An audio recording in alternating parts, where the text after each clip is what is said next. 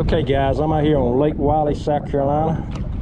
And I'm fishing for the first time with a, uh, what they call a uh, hover rig.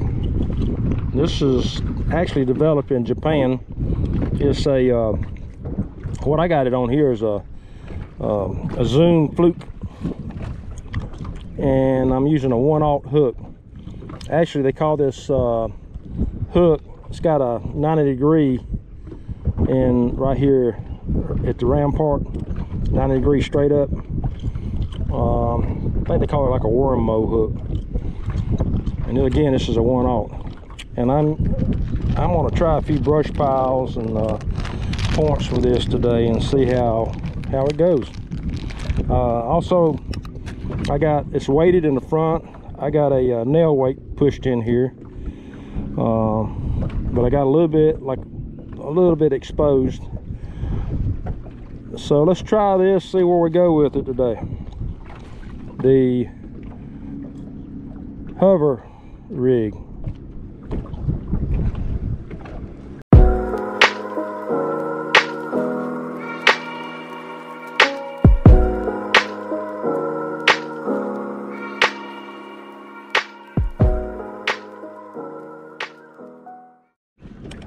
some um,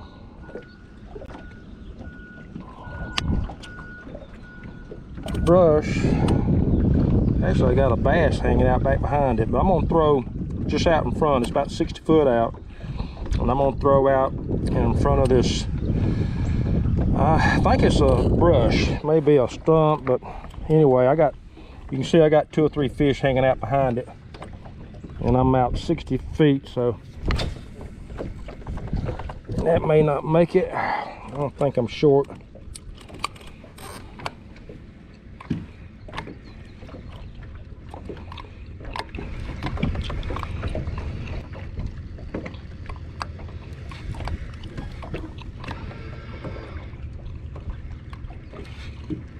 Yeah, I'm way short. I'll do that again.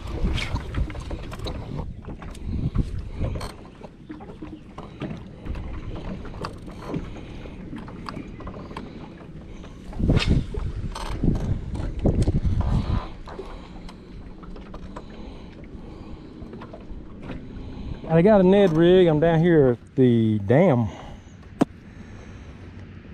And I don't think this is any surprise. There's fish down here as well.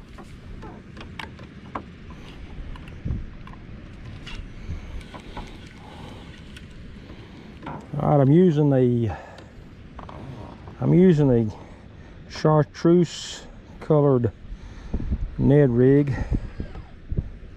I'm in about, I'm only in about eight foot of water. Fishing over some rocks.